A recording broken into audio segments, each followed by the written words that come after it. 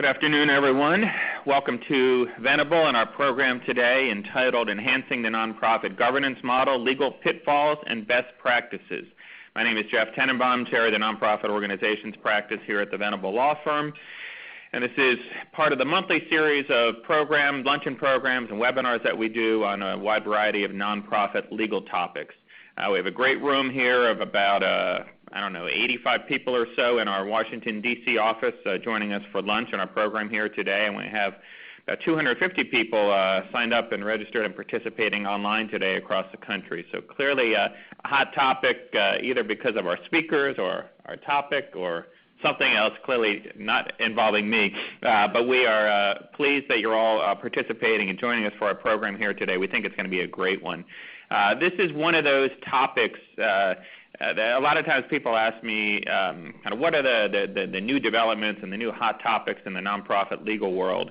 Um, and, and, once in a while, there are new developments in the nonprofit kind of governance area. Uh, you know, within the last year, we saw New York uh, overhaul their nonprofit um, uh, corporate statute. DC did the same a few years ago. Uh, there are sometimes changes uh, in the laws, which are new developments in this area. But frankly, and more frequently, the important topics in, the, in, this area are not hot topics, they're not new developments, but they're things that every nonprofit has to deal with all the time, sometimes in a very difficult manner. Governance issues can be some of the most vexing issues uh, that face nonprofit organizations. They certainly have legal implications, uh, but they have many non-legal implications as well. It's one of those areas where the legal and the non-legal aspects are very much intertwined um, and we're going to discuss a lot of that here today. And that's one of the reasons why, as you know, for, for these monthly programs, uh, we always have some Venable attorneys speaking, but we like to bring in uh, outside folks uh, to help supplement our panels. And, and today's uh, addition uh, to the panel, which uh, whom I'll introduce in a, in a minute, is, is going to be a great addition in that respect. A few housekeeping things first. Uh, first, for those of you who are uh, certified association executives uh, from ASAE, these, these programs are eligible for CAE continuing education credit. preview of our upcoming programs. We have three on the books so far. On December 11th, our program here is entitled LGBT, Religion, and Diversity in the Nonprofit Workplace. On January 7th, uh, and by the way, that's a, date change from the previous date that we had scheduled. We had to move that January 7th. Uh, our program is entitled Cross-Border Money Transfers: Key Requirements Every U.S.-Based Nonprofit Needs to Know. Um, and then on February 18th, our program is entitled One Year Later: Time for Nonprofits to Implement the Super Circular. Uh, so for all of you nonprofits who are federal award recipients, grants, cooperative agreements, contracts, uh, this is a program you are not going to want to miss. This is an area that's been keeping us very, very busy here at Venable, and I'm sure many of you are federal award recipients, uh, the same uh, for, your organizations. A few uh, uh, logistical matters. First off, in terms of questions, today's program really lends itself to taking questions throughout the program. So we encourage you to ask questions throughout the program. Uh, just keep in mind that for the benefit of those on the webinar, wait and uh, raise your hand when you want to ask a question, uh, and Marion and or others in the back of the room will have a handheld mic that they'll come to you uh, to pose your question. Uh, and, and, please do be understanding if I need to cut questions off at certain times to make sure that we can get through uh, the presentation and finish up by 2 o'clock Eastern Time. For those of you on the phone, please pose your questions using the chat feature on the webcast software, and I'll be manning that. And posing questions to our speakers uh, at the appropriate time. As you're going to see, this is going to be a very interactive presentation. Uh, not a lot of prepared remarks, but a lot of kind of going back and forth and examples and war stories and pitfalls and things like that that I think you're going to find uh, very interesting. Uh, for those of you here in the room, you have a handout booklet in front of you that has a copy of the PowerPoint slides along with some related articles on the, on the topic that we've written in the past. Uh, those of you on the phone should have gotten as part of the uh, confirmation email a link to the PowerPoint presentation. Tomorrow everyone will get an email that has all of those materials plus a link to the recording of today's uh, webinar. And as many of you know, all of the recordings of our monthly nonprofit webinars going back about three and a half years are available on our nonprofit YouTube channel. And the link to that is at, on the last slide of today's uh, PowerPoint presentation. Now, let me introduce our speakers for you. Uh, first, to my, um, uh, to my far right is George Constantine. Uh, George uh, is someone with whom I've worked for uh, most of my uh, 15 years that I've been at Venable. I think I've worked with George for 13 or 14 of those 13. Um, he and I have worked very closely together in, in managing the, nonprofit practice here. Uh, we've had a lot of fun together over those last 13 years. Uh, I have incredible respect for George. He's a phenomenal lawyer, as many of you know, including Mike, who, works frequently with George.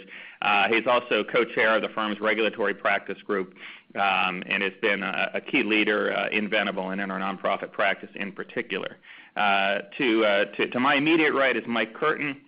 Mike is CEO of DC Central Kitchen, a nationally recognized community kitchen that recycles food from around Washington, D.C. and uses it as a tool to train unemployed adults to develop work skills while providing thousands of meals for local service agencies in the process. Uh, drawing on his experiences as an entrepreneur in the restaurant business, uh, Mike has spent significant time in the kitchen's revenue-generating social enterprise initiatives. Under his leadership, DC Central's kitchen Fresh Start Catering has expanded from traditional catering opportunity to include contracts to provide locally sourced, scratch-cooked meals to schools in DC.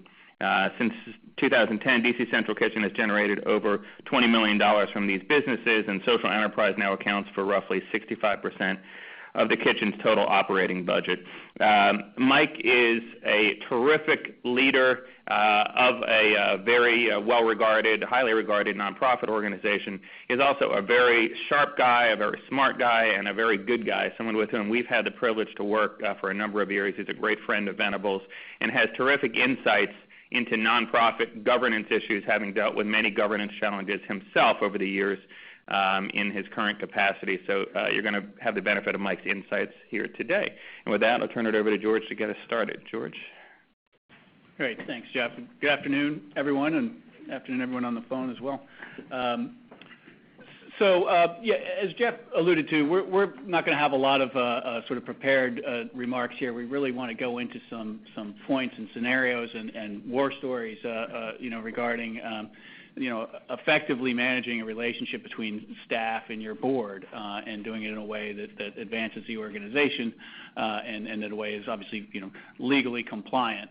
Um, I'm going to start out and talk a little bit about some of those legal issues. I think it's good to have that legal frame, that that that background, that that um, sort of you know help sort of support why we're, we're talking about this and where the where the lines are on the on the legal front. Um, and then we'll, go over and, do our discussion. And, as Jeff said, we definitely invite you to volunteer um, thoughts, questions, uh, observations, uh, you know, whatever you, feel might might add to the discussion. We, we don't want this just to be the the George and Mike show. Um, so with that. Talk a little bit about some of the basics. And some of this, I apologize, is very basic and things that, that many of you know, but maybe something that's a good reminder for you to have in, in mind. Um, you know, when we're talking about this, we're talking about nonprofit organizations, be it you know tr- traditional 501c3 charitable type organization or maybe a 501c6 uh, association membership organization or the like. And just remember, when we're talking about that, you're you're a you're a corporation. You're a nonprofit corporation, uh, and as, as part of being a nonprofit corporation, your individual directors, your individual members, um, staff have some protection from liability by virtue of having that corporate status. It's a good thing to have. In exchange for having that protection from individual liability, you've got to adhere to the state nonprofit corporation statute and certain other requirements. The nonprofit status that you have as a corporation is different from the tax exempt status. I think nonprofits, the state awards nonprofit status uh, um, for, for, for, for corporate status the, the IRS is, is the federal agency that gives you tax-exempt status. And there are requirements under both nonprofit corporation statutes in each state, obviously tax-exempt status, 501c3 or 501c6. There are a number of requirements you have to meet in order to have the privilege to have exemption from, from, from tax. Um, another sort of maybe a refresher for most of you, um, when it comes to what sort of you know uh, authority binds the organization, what things you need to look to. There's, there's kind of a hierarchy. Um, many organizations and many board members in particular think, well, I look to the bylaws. The bylaws tell me what I need to do. Well, the bylaws are kind of sort of low, low rung on the hierarchy. First, it's, it's from a corporate perspective. It's the nonprofit corporation law. Both the statute, you know, each state has some type of nonprofit corporation statute that sets forth the lay of the land in terms of what's required of board members, what's required of the organization, um, you know, what's the minimum size of board members, for instance, what are the default provisions with regard to notice of meetings, uh, with regard to notice to members, those sorts of things.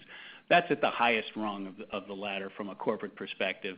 And it's not just the statute, but it's also common law. Over the course of many, many years, um, we're gonna talk very briefly about fiduciary duties of board members. Um, you know, courts have developed a body of law that says this is your individual obligation as a director of a nonprofit organization. Um, under that is the articles of incorporation, very brief document that's filed with the state to get you corporate status. Uh, then come the bylaws, and then finally under that are policies and procedures. And we'll talk a little bit more about the importance of this hierarchy as we go through some of our scenarios and some of our sort of top 10 tips that we've listed out as to why these are important and when to use which document for which sort of um, uh, goal you're trying to achieve. So just a few things to remember as a staff person or a member of a board. Um, Boards of directors are generally only allowed to act and bind a corporation when they act as part of a meeting. Um, if there is no meeting, uh, sort of email polls of board members generally aren't enough to bind the corporation unless it's a unanimous written consent. So if it's something so um, non-controversial that a board can agree to it unanimously, that means every director sends in a consent saying, "Yes, I agree." Whether it can be by email whether it needs to be, you know, some other format depends on the state requirements. Most states are moving towards email, thank God. But um but but remember, the general concept here is that boards make decisions uh, um, most effectively and efficiently um, when they when they deliberate, when they act as a body. And um, sort of each individual director just casting a ballot in a straw poll isn't the goal or the policy behind having boards and boards of directors. Oftentimes we'll get asked, you know, which state applies when we're looking at our nonprofit corporation law. It's the state in which you're incorporated. Many organizations have moved over the course of years, may have incorporated in one state and are now located in another. It's the state of incorporation when we look to these rules in the hierarchy of authority that I pointed out earlier. Um, in addition to a hierarchy of authority from a statutory and legal standpoint, there's also a governance hierarchy, sort of, you know, who's at the top of the of the list on down. The board of directors in every state is is identified as the body that runs the organization. It's in charge. Um, now that's, you know, at times a tough pill to swallow, uh, and and and at times, um, um, you know, oftentimes difficult to convince your your own board that that indeed there's a responsibility uh, that they have and an obligation that is at the highest rung. This is where the buck stops. It's the board of directors. Under that is an executive committee or other committees of the board. Um, generally, an executive committee is a subset of the board formed to act in between members of the board. Many of, if you guys are from some older associations, you probably have large boards, and it's the executive committee that really runs the show. But you know, in the event of a push and shove, which would very seldom happen, the board trumps the executive committee. Um, below those committees of the board, those committees that are subsets of the board, you have advisory committees, task forces, these entities that are uh, uh that are there to help guide the board, help guide the organization, but have no real power to bind the organization or act with the power of the board. Um, staff and officers as individuals Um, um, have some authority as delegated to them by the board and through the bylaws to um, sign on behalf of the corporation, to take certain action, to hire other staff, and those sorts of things. Individual directors, just as directors, have no such authority. And I think that's an important takeaway as we go through some of our discussions uh, today, uh, and as you go back to, you know, dealing with your boards, is uh, this concept of someone who just happens to be a member of the board, that doesn't give that person authority to bind the corporation, to sign on behalf of the corporation, to speak on behalf of the corporation, to dictate to staff what should be done. Um, now, as we'll talk, there's sort of um, uh, certain considerations you wanna make before you say, "No, you can't tell me to do that." Um, but, but the reality is, as an individual director, there's no inherent authority that comes with that. The authority goes to the board as a body, and when the board is is acting as a body. Um, finally, before we move on to um, the fun discussion here, um, each director, this is old hat for a lot of you, but again, let's keep it in mind for our frame. Each director of a nonprofit corporation owes certain duties uh, to the corporation. This is developed over years and years and years of common law. So it's sort of an exception to the general rule that there's no individual liability exposure if you have a corporate shell around you. Well, as a director, um, you do have some exposure to individual liability, and that is if you don't meet these duties, the duty of care, the duty of loyalty, and the duty of obedience.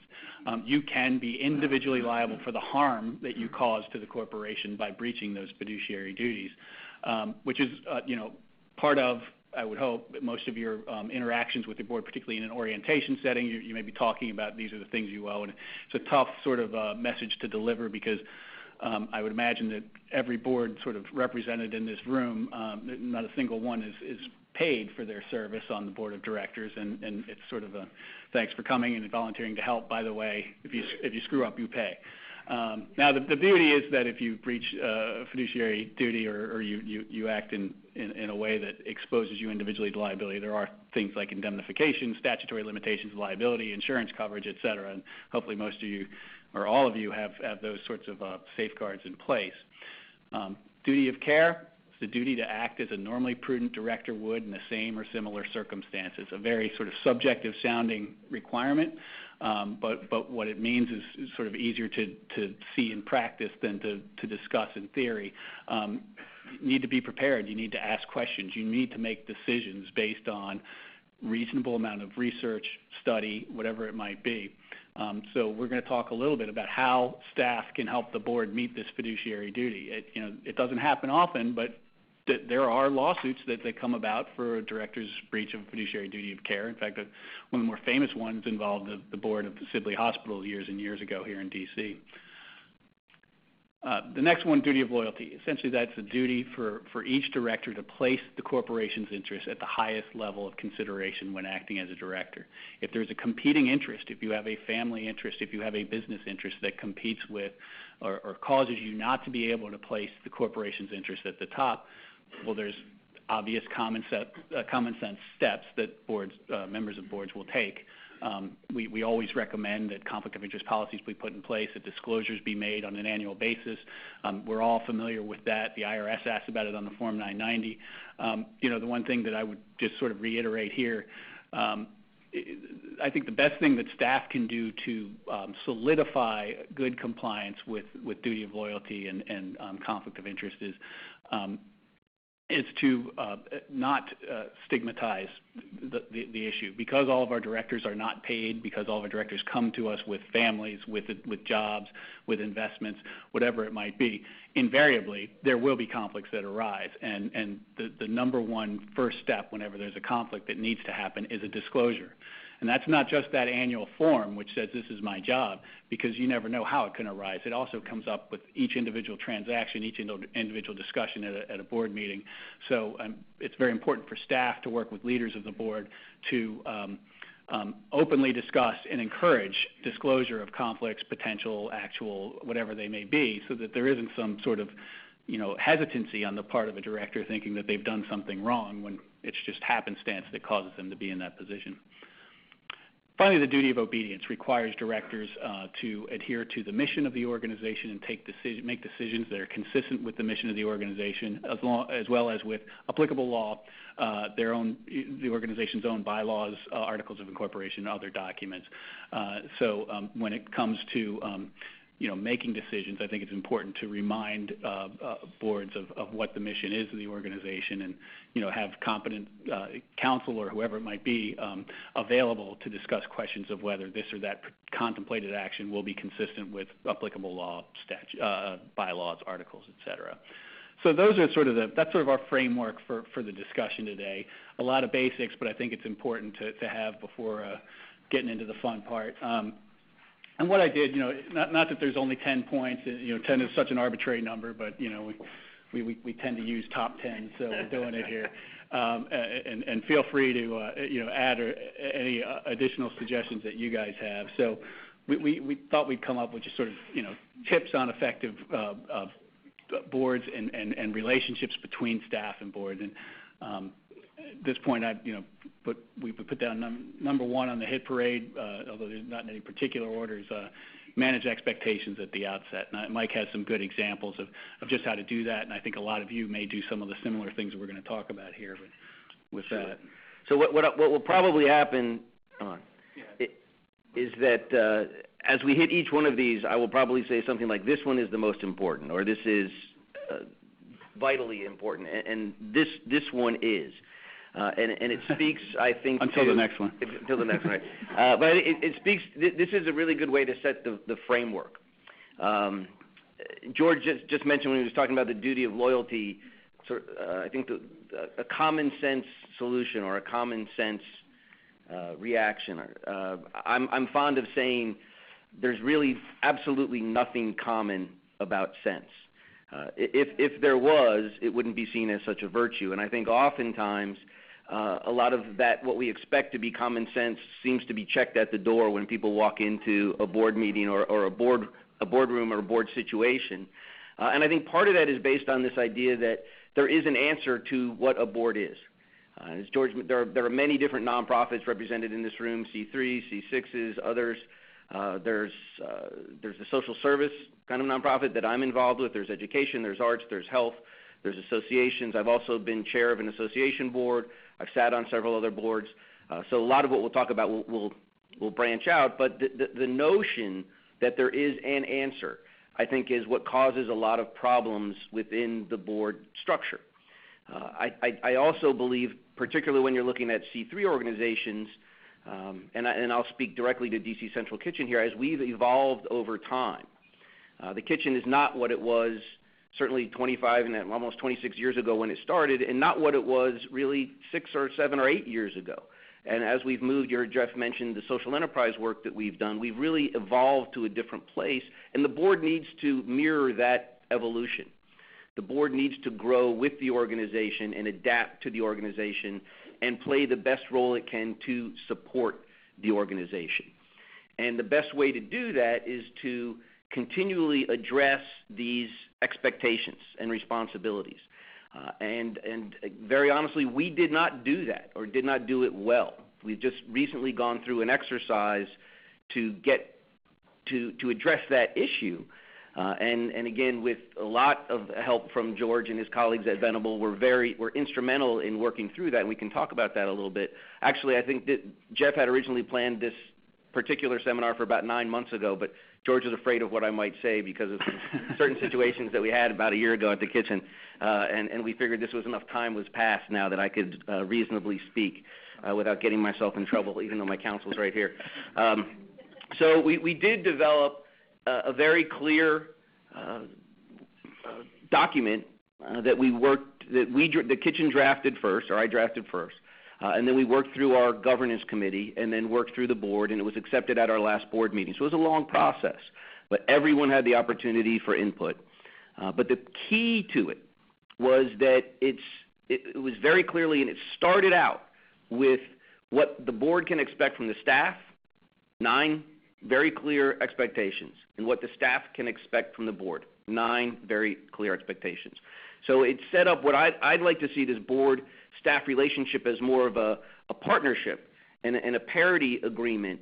And I think one of the reasons we hadn't done that before is because of this sort of uh, inherent deference that is often given to boards just by virtue of the fact that they're the board.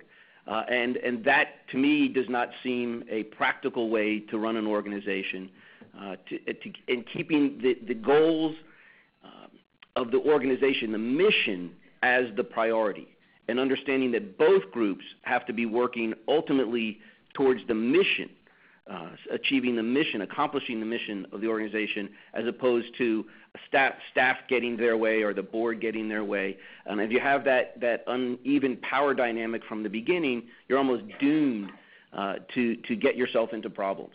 Uh, and that's really where, quite honestly, we found ourselves, and we'll get into that later, don't worry, I'm sure. Um uh, but we had to pull ourselves back and say, "Okay, look, what are we all here for? Why are we here?" Uh, and that's what became this document uh, that we narrowed down to five pages, but it now will guide us. And if there's an issue we can very clearly go back and say, this is what it says. This is what everyone who's on the board signed up for. You signed this, this is the agreement. It's not what you might think, it's not what the board you were on before, or the board of your, your, your child's school, or the other association that you were involved with in California. This is what this board does. And you need to be, I guess pun intended, on board with that. And if you're not, then this isn't the right board for you. And there's nothing wrong with that. But this is what we do, and this is how we do it. And you know, I know that we we just did this, um, but I do think it's important to to have a um, um, sort of regular review, maybe two, three years, to see what it's like. Because you know, as you cycle through different levels of maturity for organizations, it's funny. If you look at associations, when when when trade associations, professional societies first start, the board is very strong because that's the impetus of forming the group. It's the members of the organization that want the industry represented, whatever the reason for formation and, staff gradually um, sort of um, um, you know becomes more professional. And, does the board come along with that as quickly as, staff becomes more professional? That's always an issue with associations. I think with, many charities it's the exact opposite. You have the founder who comes in who starts an organization because he or she has a passion for the group and is a strong leader or passion for, the issue and populates the board with like-minded individuals who find the founder to be a great leader and sort of tend to be dragged along. But you know, at some point the board needs to figure out as this as the, the organization grows that, that there needs to be more sort of traditional board oversight rather than whatever the founder says goes. So uh, that's why I think you know constant revision is, is important. Yes. Yes. So when when uh, prospective board members are coming on now and people say, well, what do you expect of the board members? We'll say, this is what we expect. This is our policy, and we do ask them to sign that, uh, just as we would ask staff to acknowledge any other policies that we have as part of their orientation joining the organization. What do you call it? The question is, what do you but call it? the question is, what do you call it? Uh, we, we call it uh, board and staff uh, do, uh, guiding document of guiding principles. And yeah, they can have any number of names. So you've seen, you know, other, you know, just board expectations, roles and responsibilities, and the like. Um, I think it's important on this point, you know, again, very basic, um, um, and maybe not so basic, but something that a lot of us already do, is training and orientation in new board members and existing board members alike. I think uh, better attention, from my experience, I deal with a lot of associations, a lot of nonprofit organizations. I work with boards very closely on training programs. Some of them, it's just a repeat year after year after year of the exact same PowerPoint, the exact same um, materials, the exact same documents, just as the expectations document should be, excuse me, updated regularly. So, so should all of the training. You know, make it relevant and make it interactive, and, and um, you know, don't just sort of do it as a checkbox. And I guess the, uh, I, I think we could probably just start here and keep going. I think without getting to any of the other slides. Two but through I, ten. But I, I just want to emphasize the one point is that it, it's that document needs to be a joint group think effort. It, Yeah. it can't be imposed one way or the other, I think, to be ultimately to be effective. Everyone needs to feel that they were part of it and that everyone is signing on together. Uh, and, and we're, we're working on that going forward, whether it's in revisions or the, how we modify it, but it's a, it's a group effort, staff and board. Great. Want to move on? Okay, number two, um, establish a partnership with board chair. And, and um, I'll go. This is absolutely the most important one. uh, you know, again, in my experience in seeing boards and effective boards in action and perhaps less effective, um, you know, staff board relationships, it, it, it all seems to key off of that relationship between the staff, chief staff leader and the board chair, because as you've been in boardrooms, you know the board chair runs the show. They go through the agenda. They determine when enough discussion has been had. they, they determine either by, excuse me, either by their silence or by their, you know, by their actions that particular discussion is relevant or irrelevant, and you know, should we move on? Um, so, um, you know, it, it, staff is sort of in most situations that I'm in, it's looked as a resource from the board chair, and it's asked is called upon to speak, but but you know, it's it's always you know that that sort of secondary role. So, uh, I, I think this is this is a really important and uh, delicate and for sometimes difficult dance that has to happen between the, the chief executive and, and the board chair. So I, I think there, there needs to be a perception, uh, at least, that the the board chair is not simply a mouthpiece for or a blank rubber stamp for the chief executive. But at the same time, the board also, I believe, needs to know that the chair absolutely supports the chief executive and, and the staff. And so it's a very delicate dynamic. And if you go too far one way or the other, you're gonna lose. There'll be a suspension of belief in uh, with the board on who's really is my input really valued, or is it meaningful, or is anyone listening? Uh, so there absolutely needs to be that challenge, uh, but there also needs to be that support. And I think that comes from as this partnership, and it's really based on communication. And there's, again, a lot of these things tie in together. There are other points about the heads up. Uh, so, uh, and again, I should, I probably throughout this will say I or we. Uh, please do not misconstrue that to mean I know or we have all the answers, because I think one of the reasons I'm here is because quite clearly we didn't, and that we've learned a lot of lessons. But I do like to think that we're good at learning lessons, and we do our best not to make the same mistakes. So one of the things that that, that we do now is that I meet monthly with the board chair. Uh, we have a breakfast, and we go over everything that's going on, and I give her a heads-up on what's happening. Uh, even if it's probably not gonna be an issue, or even if the board may never, ever address this, but if there's even a slight possibility that something could come up later, I feel that as long as the chair has been made aware of this, and I've sort of laid out to her what direction this these what directions this might go in, that we're covered, that we're safe. And it can be her call then, if this is something we do want to address to the full board or if we want to bring it to a committee. Uh, but but there really needs to be that that open communication. And again, that that's trust. Sometimes you're saying things like, "You know what? I think I might have made a really big mistake here. This this has a chance to go sideways pretty quickly."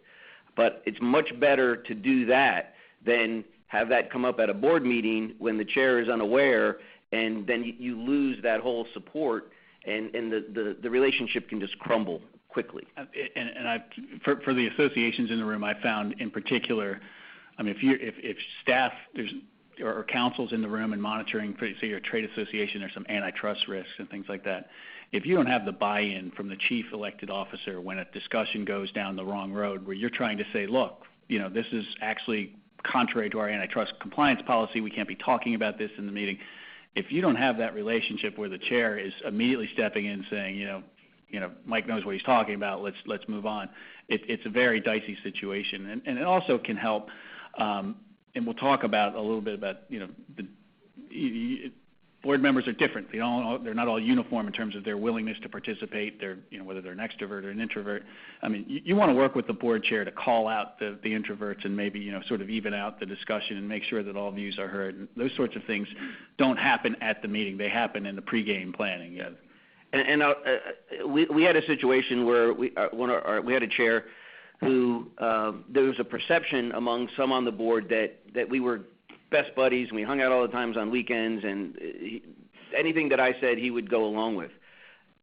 At the same time, I was incredibly frustrated with our board chair because he wasn't listening to me, and he wasn't supporting me in the way that I felt that he should be.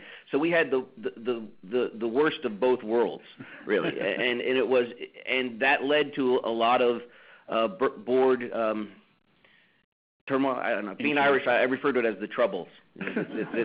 But uh, but but that perception, again, is very, very important, uh, and it needs to be, uh, there needs to be that very open communication.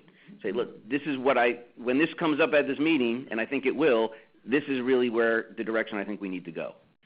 And Mike, I presume that, uh, based on my experience, it what you're suggesting is even more challenging year by year, in that you're staying the same, but your board chair is rotating every year or every other year. And some some board chairs, you're gonna really hit it off with and and be on the same page, you know, almost automatically. And others, you really have to work because you may be very different personality-wise. And and that can be challenging. Um, one piece of advice that, that, or one kind of piece of insight that I'd gotten uh, years ago when I was going to law school at night, I was working at the American Society of Association Executives back in the time when a guy named uh, Bill Taylor was president and CEO. Um, I always thought Bill did a terrific job at kind of managing the board and board relations.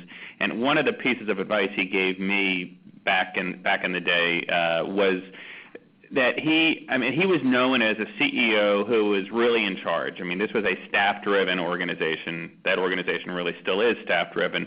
But Bill was always very good and told me how important it was to make sure that the board chair can shine. You know, don't try to take the limelight away from the board chair. You may be doing all the work behind the scenes and orchestrating everything, but let the board chair have, you know, his or her uh, time in the spotlight and be able to take credit for things. And I thought that was a great piece of advice. I, I, I would agree completely, and I, I think sometimes you can have a, a really terrific board meeting when the chief executive almost says nothing. And, really, I think that's almost a sign of, an excellently planned and executed meeting, where the, chair is really leading the meeting. Uh, other, programmatic issues are being addressed by staff, uh, and there's discussion going back and forth.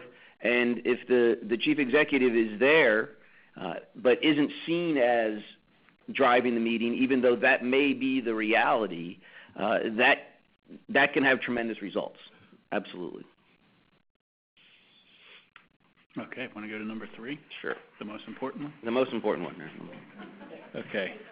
I wonder, how, Eh, this one is important. how soon before this joke gets old, right? Uh, all right, yeah, so this is, this is the most important from my perspective, actually. Um, I, I, I view um, bylaws in particular, but also policies that, that flow under the bylaws as, um, you know, almost more an art than a science. Now, obviously, from a legal perspective, the bylaws should hit all the points um, uh, uh, that you can possibly hit in a way that leaves flexibility um, and, and doesn't um, sort of unnecessarily box the organization in. Um, you could have, and I've seen, incredibly detailed bylaws that seem to contemplate every possible iteration or, or, or eventuality, and I guarantee you at some point you're still going to hit a hole or a gap where it, it, this particular scenario wasn't quite contemplated, or the wording that you thought was precise actually is open to two meanings. Um, so because the bylaws and the policies under the bylaws are, are generally the, the most read documents in terms of um, um, you know what directors are looking for for rules of the road, they need to first be understandable and, and, and not overly sort of dense and, and, and long when it comes to you know trying to address all these points. Legalistic, is that the word you're Yeah, looking for? right. Um, because, seriously, because um, you, you can't address every point in the bylaws to begin with, and the reality is the courts give great deference to a board's own interpretation of its own bylaws. Um, there will be points where there just needs to be a judgment call. You know, uh, when does the, the you know how does this term limit provision apply, for instance, or you know how how does you know the the, the, officer succession happen if if the one of the ones uh, uh, decides not to proceed through the chairs, these sorts of things. Um, you know, ideally the bylaws are going to tell you the answer right away, but even if not, the board can make the reasonable de- decision at that point as to you know what is what is best for the organization. Look, I know, particularly if you've got a membership organization, you're, you're going to have some, uh, we call them red ant members, or, or you know these members who just live for the, the, the, the, the one thing that you may have done that might be slightly contrary to the bylaws. Um, it, it, it's, it's a cost of doing business as an association, as a nonprofit organization that I, I to, to this day I've experienced so many of these, and I've yet to understand what motivates them. Um, but they're out there, and um, but um, it, as long as there's a reasonable interpretation that, that that's not you know any way you know a, a stretch from the from the from the board, um, you know a court will, will will accept that interpretation. So. I, just when it comes to looking at those documents, particularly the bylaws, I say you know brevity is is not a bad thing. Yes. Oh wait. What's your thought on updating your bylaws, reviewing them periodically and making amendments to it? We may have made amendments to ours, but had not reviewed them in the 29 years. We just did that and eliminated things like meetings will be notified by telegraph. Right.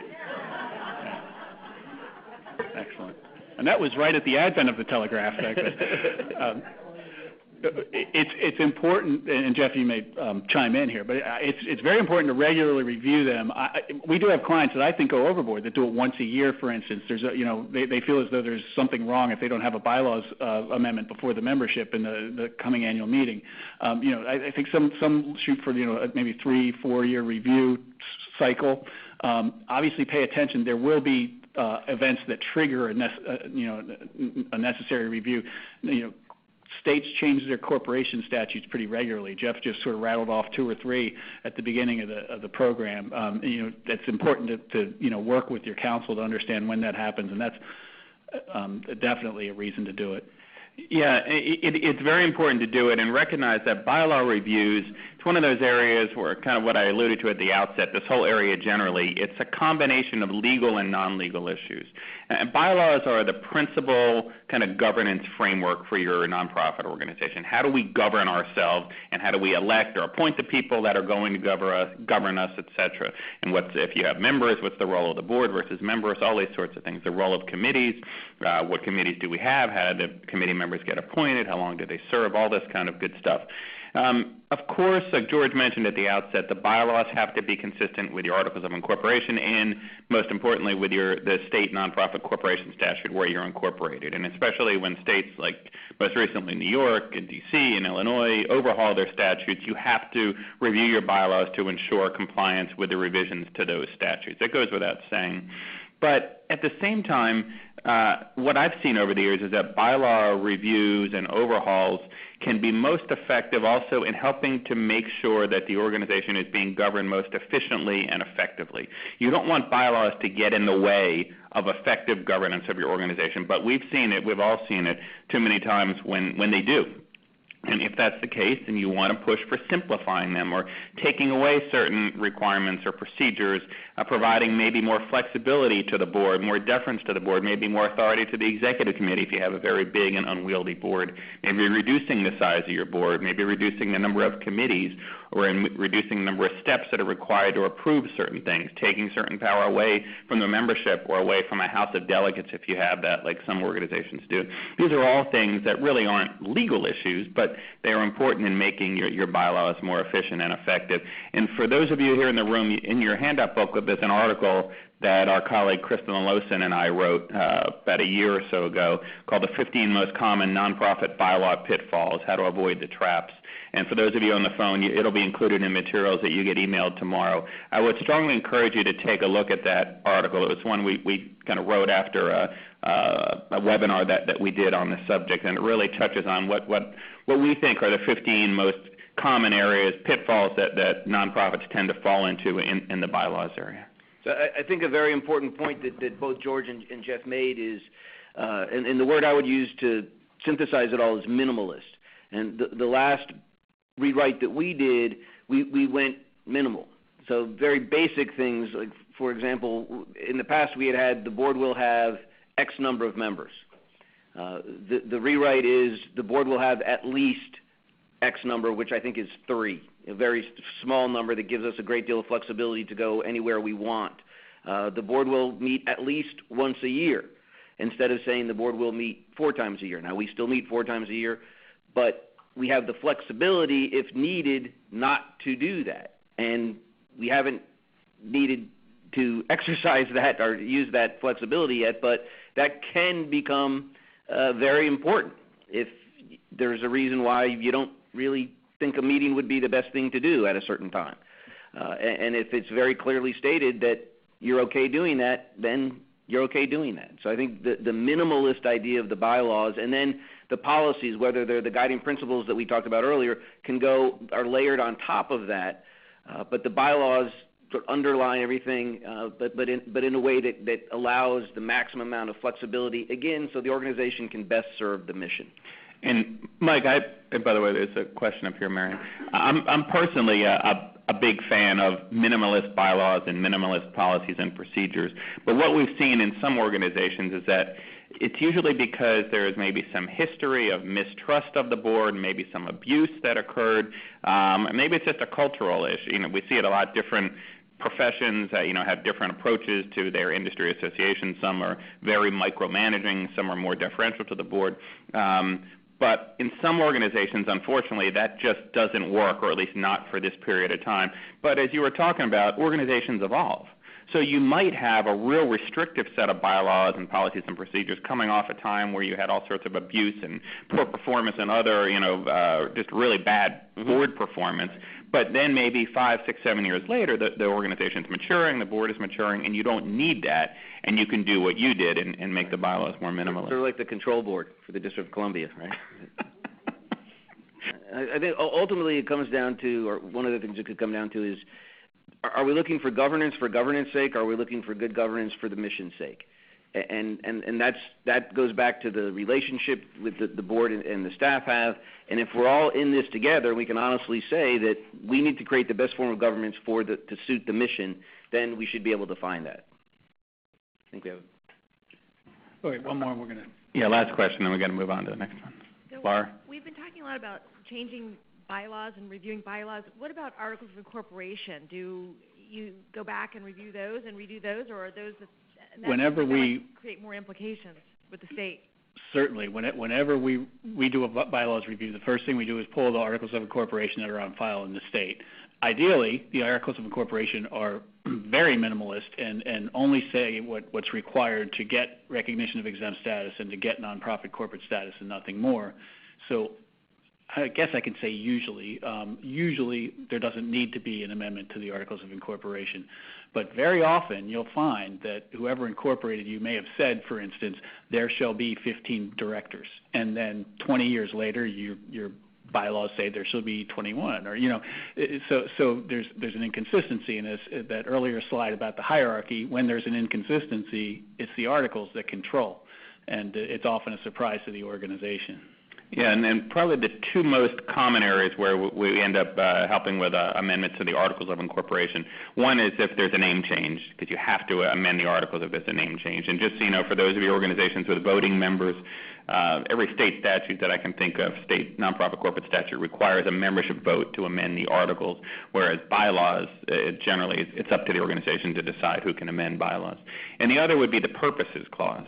So uh, most articles of incorporation have a, a purposes clause, some generic, but most are tied to the specific purpose and mission of your organization. Uh, that is very important uh, from a number of perspectives, including an IRS perspective, including for, with respect to your tax exempt status. So if you want your purposes to be broadened or to change direction or to be narrowed or to do whatnot, you need to not only amend your, your bylaws, but your articles as well. Right. All right, let's move on to the We're getting there. We're getting there. Um, okay, the next one um, that I think is um, far more practical than legal, and, and perhaps one that Mike doesn't always follow. Uh, choose your battles, um, and and you know. I just choose often. uh, may- you know, the, the concept is is that that um, you know there there will be times. Look, the, the best practice, the ideal organization that, that you probably heard before in relationship with the board is the board sets the strategy and the mission in consultation with the staff, but the staff implements. You know, so um, very often, in my perspective, we'll hear from staff saying, you know, the board is all in the weeds on this. It, they're, what they're talking about is not strategy and mission. What they're talking about is implementation, and that's our role. And you know, some you know, staff expect you know, a, a lawyer to come in and say, well, well, that's wrong. You know, I, I, I'll step in and tell the board they can't do that. that. That's not correct. The board does run the show, and I, one example that I've given is. Um, you know, if the board says the CEO's office shall be painted pink and they do a they gavel it through with a vote, I mean, so be it. That's that's as as in the weeds as you can get. Um, but um, still, there should be a good understanding if you're working well with your board leaders. You, you've got an understanding that that you know this is the area where, where we'll sort of take charge. This is the area where, where, where you'll you'll take charge, and you'll obviously work together. But there will be times in the discussion at a board meeting when a director or even the chair may cross, cross that line. And you know, my purely non-legal sort of practical advice is, you know, that's not always the time to step in. I mean, I think, you, and, and if you do feel that someone's crossed the line too much uh, and and and need to say something, do it in a way that's tactical or and, and it doesn't embarrass anyone. It's you know after the meeting and after the break. So I, I think th- this does go back to one of the earlier ones, or several of the earlier points we talked about. Uh, probably most importantly, the relationship between the, the chief executive and the board chair, uh, and having a strong board chair. It, it, when when something like that happens, or even hopefully something like that would never happen, and it didn't. That at least didn't happen to us. But uh, the the chair should be should be the one, I believe, stepping in when the board, legally or not, is is overstepping its bounds and is moving away from the oversight strategy. And again, we can talk about that. Um, to implementation, practice, running running the day-to-day operations of the organization. When if if you're in a situation like that to begin with, if I, as the chief executive, reacted strongly against that, chances are really, really good the situation would only get a lot worse and get a lot worse fast.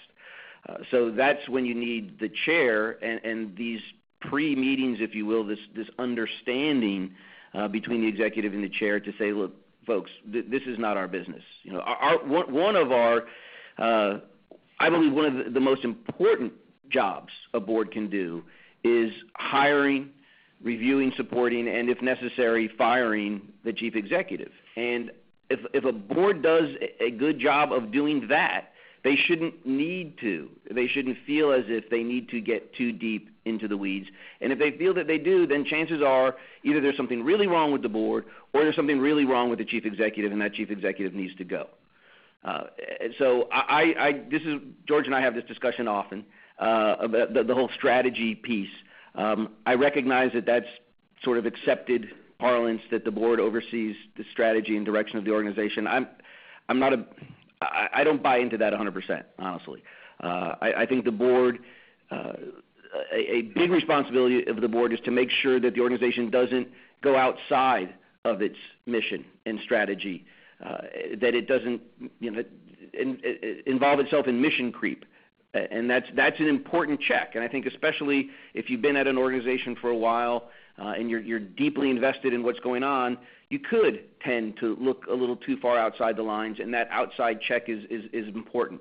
And when discussing strategy, I think board input is, is vital, and that they, the board will often offer perspectives that staff may not have considered. And that's incredibly important to come up ultimately with the good strategy. But I just don't believe, honestly, that, that even an involved board member, uh, a very engaged board member, uh, would have a better handle on strategy than a group of paid professionals who are deeply invested in this mission um, to, to design strategy.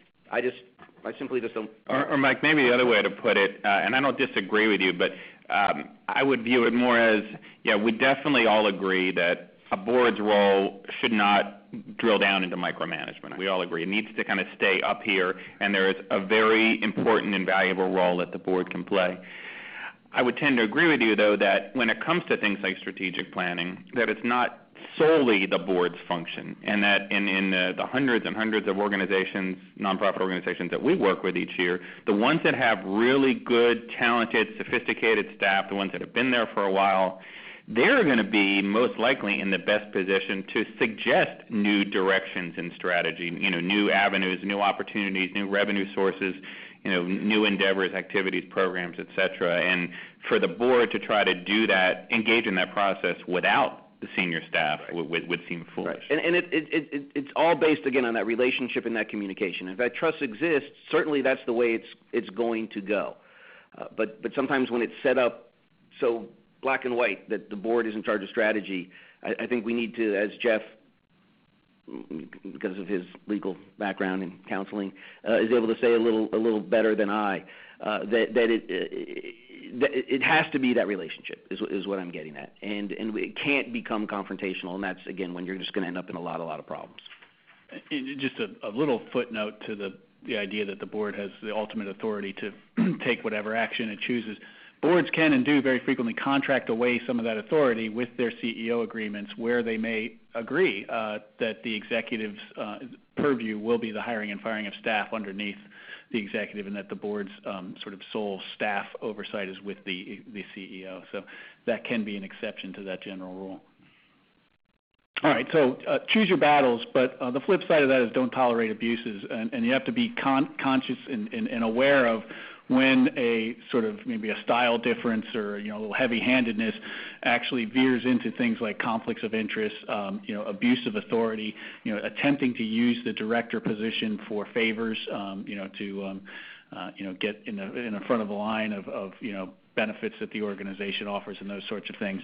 Um, you know, a good conflict of interest policy is going to address that, and um, a strong relationship with the, the, the, board chair will will help very much to um, you know hopefully you know either stop those um, abuses from from happening or at least stem them from from growing into to bigger problems in the future.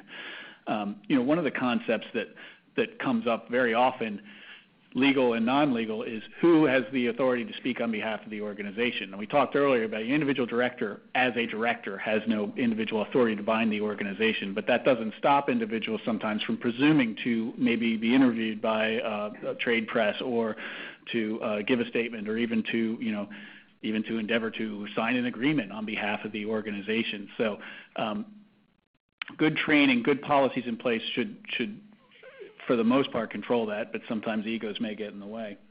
Yeah, that, I'm sorry. Well, I was just going to say there's a, a doctrine called the apparent authority doctrine that uh, the Supreme Court hammered home in a 1985 case involving a nonprofit that makes clear that if an outside third party would reasonably believe that the person who is attempting to exercise authority on behalf of the nonprofit organization has, it does indeed have that authority, if it's reasonably apparent to them then the organization is going to be bound by that action. And we see it all the time, especially in smaller, less sophisticated organizations where, you know, a volunteer is signing a contract for a meeting space or, or for a consultant contract, vendor contract.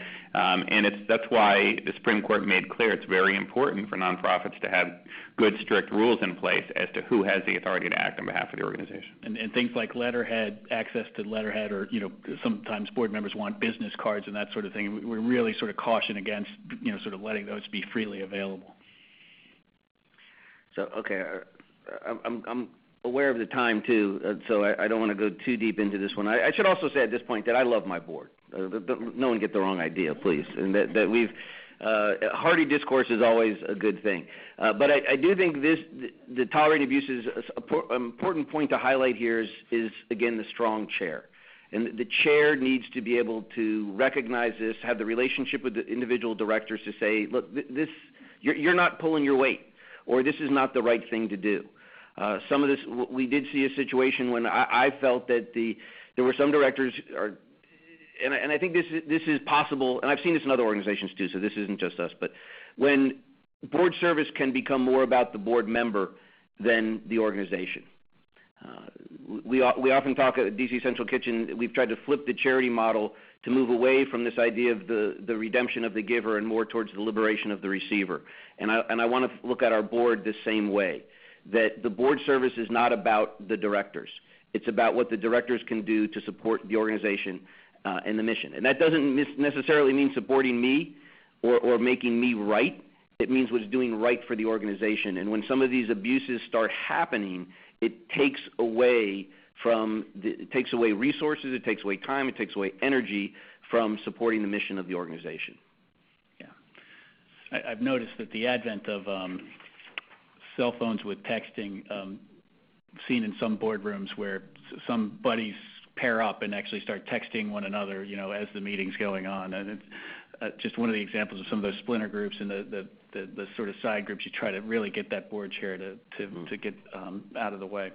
Yeah, and, and like Mike was alluding to earlier, cannot underestimate or, uh, or stress enough the importance of kind of laying the groundwork politically in advance. You know, a good CEO is going to know what the hot button issues are going to be coming up at the board meetings. They're going to know who's on what sides of those issues if it's something controversial.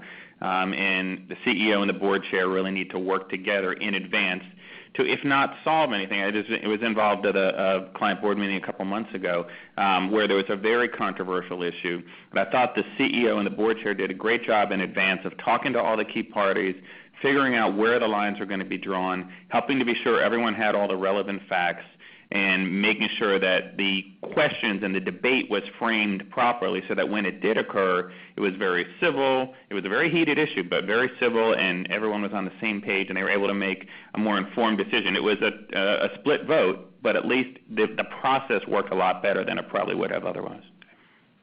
Okay, the next one that uh, we've identified is put directors in the best position to do their jobs.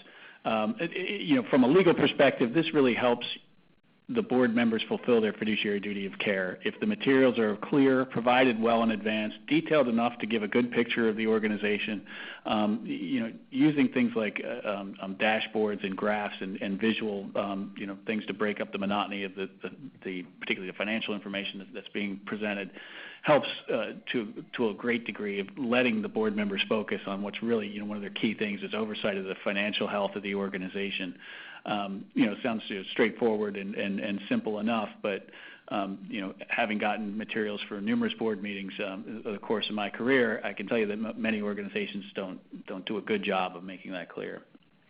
So we, we this is really important. This is very important, um, uh, but also very difficult. I've sat on boards when I've said this. I've heard other directors say it on boards that I've run. Is we want to be more engaged, uh, but ask them what that means, that it's harder to get the next answer. Uh, it's it's really hard again because people are not exactly sure what their board service means and what they're supposed to do and how they're supposed to do it. So again, setting these expectations, but absolutely providing all the information you can and seeking out. We, we've changed our board uh, report uh, format. Uh, we've changed what documents we're sharing. We've moved uh, to almost entirely a dashboard situation for a, for a good number of the, programmatic financial and development uh, topics that we discuss uh, in response to what the board has said. But always, always with the goal of being incredibly transparent. I think that that's, again, that goes back to the heads up. It's not letting anyone be surprised, anyone being caught off guard. This is exactly where we are. Uh, again, you want to think of this as if you're in this boat together and it's going down, you're going down together. Uh, and if everyone has the more, more information everyone has, the better off you're going to be, and you're going to avoid that that calamity, uh, hopefully in the future. So the, the dispersal of information there is is absolutely key. And when we talk about meeting the fiduciary duty of care, you know, when there have been those rare instances where individual directors have been successfully uh, challenged for breaching that duty, invariably it's because of financial calamity with the organization. Something happened with the resources of the organization, be it through embezzlement, through just um, um, bad investments, uh, through you know other sorts of waste of, of charitable assets. So when I'm talking about this information making clear, it's most important in the financial realm. And, and for those of you in the room and on the phone who are who are the chief staff executives of your organization, I'm thinking about um, probably about a half dozen clients just in the last couple years uh, whose CEOs are no longer there they were let go, all related to uh, financial improprieties, um, uh, improper procurement, uh, embezzlement, um, uh, not disclosing key financial information to the board that ended up being incredibly problematic and losing the organization a ton of money. And the key theme in all of these cases is not only that there were uh, financial irregularities, but that there was a lack of board disclosure. In fact, in, one of the cases, uh, just the other day, I was speaking to the immediate past chair of the board who was uh, reminding me of when he first came into office and was asking the, the CFO for copies of the monthly financial statements, and the CFO told him, well, that's a highly unusual request. Clearly, it was not the culture of the organization to disclose even basic financial information to the board. And needless to say, that CFO and CEO are no longer employed by the organization. But uh, it, it, it's become a best practice, of course. But it's just amazing to me, you know, how much this continues to occur and how many CEOs continue to continue to lose their jobs because of it. The other points put in here to answer the question about strategic planning, I I think it's it's incumbent on staff to make sure that, that a regular cycle of strategic planning, or whatever you want to call it, so that the big picture can be sort of buffed up and repainted or whatever it might be over the course of a couple of years to make sure that um, everyone on board understands where the direction is that we're heading. I mean, if we're working with them to help do the strategy and mission, you know, they need to know where that is and, what a clear picture of that is. Um, and so I, think that that's part of needs to be built in as much as it can be a hassle. It's sort of it, it's a bit um, sort of up in the clouds as opposed to you know handling the day to day. That that shouldn't be ignored. And The other point I would just say is, um, again, more an art than a science, but you know, make sure that you have enough time for discussion on matters, um, particularly of importance uh, at the board meeting, and be available on calls and things like that. Um, very often, uh, the desire in a meeting is to gavel it through and get to whatever's after the meeting. But particularly when it comes to financial discussions, you know, ample amount of time to talk is very important.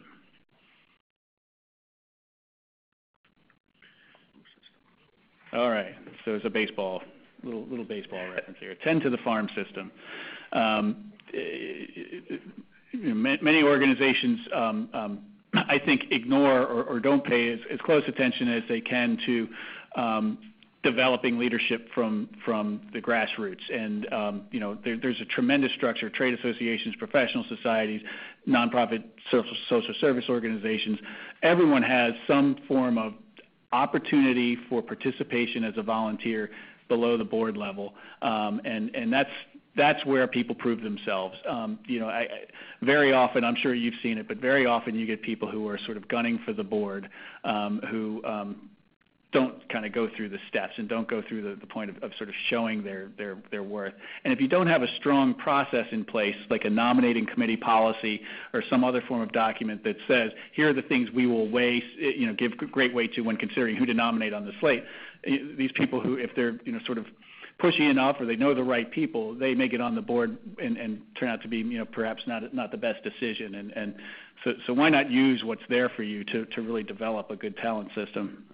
One of the things that, we do, a key piece when, we're considering board members is we're really only looking for people who in some way have been associated with our organization in the past.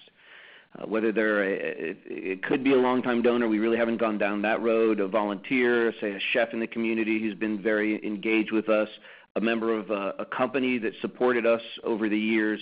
So we, again, I say this word a lot, but it's very important, the mission. We're not interested in just having board members for, because they want to they want to be on a board.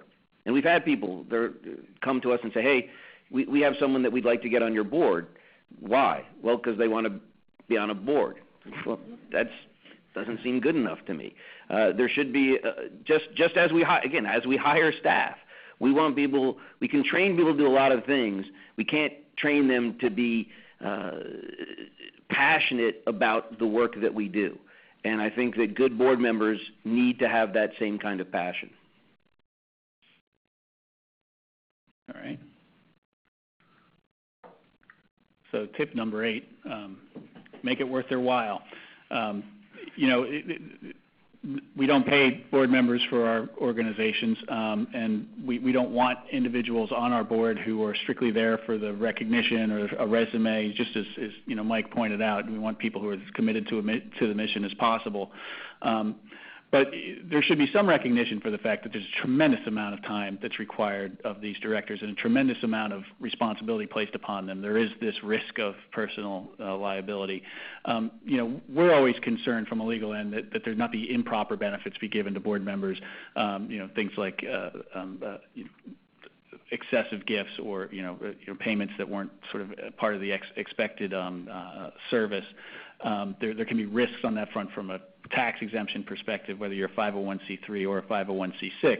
Um, but, but there are sort of soft benefits that, that you can and should do to make the board members feel as though their contribution is, is valued. I mean, they may not say it, but I think everyone likes a little sort of public recognition of that fact, and, there are ways to do that. Each of you have, I'm sure, very prominent, you know, be they annual meetings, fundraising events, and those sorts of things. You know, bring your bring your board members up, bring your elected leaders up to, um, you know, have a visible presence on that, and make sure that, that they understand that, um, you know, they're, they're valued. And you know, sometimes it could even be, you know, letters of recognition, plaques, all these things that seem, you know, um, uh, like, you know, old hat is, is, you know, still valued by people who are giving of their time. Absolutely. It does sound a little hokey, but we've actually created an agenda item on our quarterly board meeting that's board kudos, and it's part of the PowerPoint.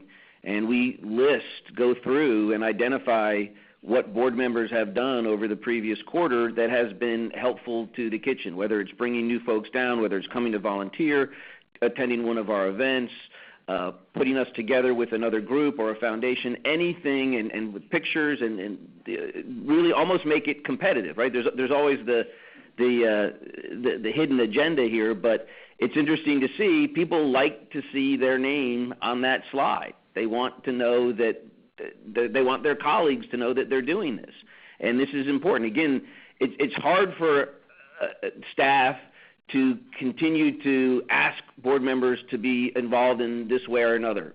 Know, again, engagement. What can we possibly do to, continue to engage you?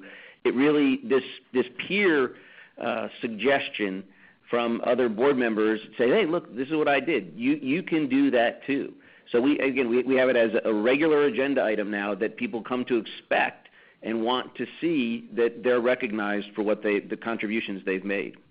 And of course, we do have um, some clients on maybe the other end of that spectrum.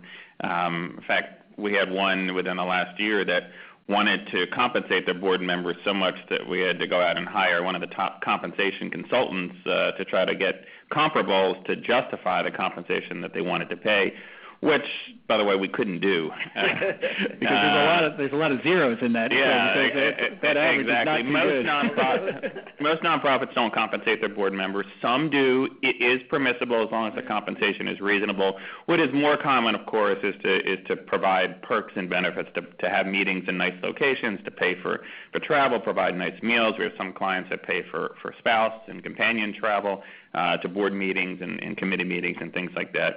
Uh, you know, all of these are permissible. You always have to be mindful of uh, the private inurement doctrine, uh, which George alluded to, which applies to C3s, 4s, 6s, et cetera. But, um, you know, uh, bottom line, uh, you, you absolutely need to make these uh, board members make it worth their while because you are asking a lot of them. And if you want to attract and retain good people, uh, you need to make it worth their while. All right, uh, nine. Um, this is the most important one. so um, this is a, a something that, that I'm sure you've noticed. I've noticed in sitting in many boardrooms, different organizations from time to time. Um, there is this tremendous disparity among those who speak all the time and those who sort of quietly hide in the corner and don't don't speak much. And and I think that tremendously sort of dilutes dilutes the, the, the, the whole value, the whole idea that a board is supposed to deliberate. A board is supposed to make decisions based on you know good interaction. Um, so um, one of the things that you know in talking with chief staff uh, executives of, of our clients and others, um, you know, one of the, the, the the solutions that they've hit upon that I thought have been successful is really work with the board chair to just you know make a conscious effort every meeting to call out the quiet ones and and sort of gently uh, remind or, or, or you know move forward from those who who tend to you know want to talk on every point. Um, it, it's it's you know difficult in practice, but important to keep at and to keep trying to get the full value of what your board is all about. And I think it helps even the introverts who may not like being called on at first, um, they start to see the value of their presence. And, and you know, a lot of times, if, if you're a quiet person, you may have something in your head that you want to volunteer, but you're waiting for the exact perfect moment to do it. And what the chair can do is provide you with that perfect moment. So, um, also in the in the interest of, of equity, uh, and as the, as the board is supposed to hold the staff responsible and uh, accountable to goals. And one of the reasons, again, we've created these dashboards is so that there's an easy way to do that. We've created a, a board dashboard, uh, which I, I, ripped off from a, a, board I was on uh, several years ago. Uh, we called it there the board report card, and we've taken uh, the the, the, pieces from the guiding principles document that we've asked the board to do, and we've put it on a spreadsheet along with the dates of all the meetings and committee meetings and events that we have. And if you attend and participate and make your annual contribution and do these other things, you get a little check mark. So you're going to get actually a written report card dashboard on on your participation. Uh, so far, the way we did this in the, the other organization that I was involved with, it was private for two meetings, and then it's it's now published as part of the board report. So every board member is aware of what other people are doing. It, it doesn't have a, a, a, dollar value on a contribution, but if you've made it, how many meetings have you attended? Have you done these other? Have you committed? This one was a, an association, so have you contributed to a PAC, the PAC? Uh, and I and I think that's that's fair. Uh, but again, the follow-up is the important piece. So then, what happens with that? Is that a document that that just exists for the sake of existing, or what we're going to do actually for the first time this year before um, between now and April, before we go into our next board cycle, the governance committee will be meeting with each individual director and going over that report card and saying, well, you know, it doesn't seem like you're really this is working out for you now. And and again, that's fine. Maybe the timing isn't right, other whether it's work or family obligations, and again, that's fine. Uh, but but asking the board member to consider uh, maybe not continuing to participate on the board if they're just not able to participate. There's really no reason to carry someone uh, to take that space. If they're, if it doesn't make them a bad person, doesn't mean they can't support the organization. Just means that maybe now is not the right time. So it has to. I think creating the document that's actually black and white, step one. But the follow up is ultimately what's going to be really important to make that work. I agree. I agree. Okay, our last one is uh, no surprises, comma, please. Uh, so um, this is um, important, obviously, to keep your leadership apprised of big news, so they're not finding it out other through other avenues. Um, it, um, it, I, I think to follow this point properly in a way to sort of, you know, manage your own or, or protect your own sort of authority over particular areas anything that you're reporting that might be news that you want to share with the chair or with, with, the, with the board um, should be couched with the resolution or, or the proposed resolution, um, if at all possible. Uh, I mean, there are going to be eventualities to come on, you know, like a, a disaster at headquarters or something like that, where obviously you're going to just, you know, even though you may not have a resolution in place yet, you, you need to. Um, but when it comes to, for instance, a staff person leaving unexpectedly, um, you don't want to be in the position of you know a director or or the board chair saying, well, the first I heard of it was some other staff person told me. Why didn't you keep me apprised of it? Um, so even though it's your purview, and even though it's not you know technically you know in the board's bucket, um, it's important I think to keep them apprised of these of these developments as quickly as possible, but include and here's who we've got coming in to interview, and you know, we've here's sort of the, the, the, resolution plan going forward. So, so it can't be construed as you sort of putting it in the hands of the board, or, or maybe inviting the board into something that isn't isn't their area. But by the same token, you won't be accused of you know sort of you know hiding the ball on them. Um, you know, I've been in uh, situations where um, just that example I gave. Uh, it was an executive session of a board meeting. Uh, really, was an ex- the exec was in the board meeting, just giving an update on different staff developments, and said something to the effect of, you know, so and so is a problem. Um, you know, we're not sure what to do with his performance. Um, you know, thinking about you know potentially letting him go or something along those lines.